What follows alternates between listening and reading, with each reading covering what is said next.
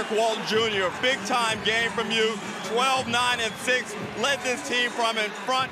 Obviously, obviously no ill effects from that quadricep injury of last week. Man, I don't like to make excuses, but I mean, uh, none of us are 100%, so I really can't really make, you know, make too many excuses. Try to do as much as I possibly can with the energy I do have. Uh, off days, try to get as much rest as I can, and it's always good to come out and win. One more to do it.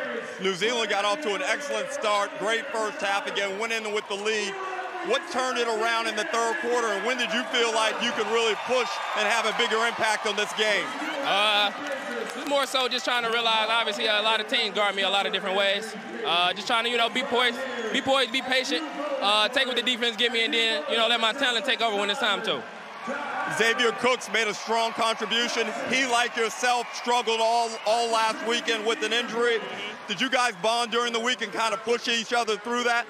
Uh, I think when you at this level and you you know you like to win at this you know at this level, I don't think it's too much need to be said, man. I think uh, both of us very very fiery competitors, and all we wanted to do is win. I think uh, obviously you see him still hobbling.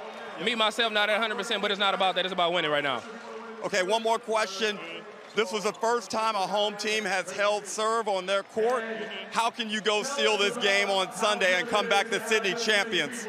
Uh, just realize it's 40 more minutes into something that we've been working for the whole year.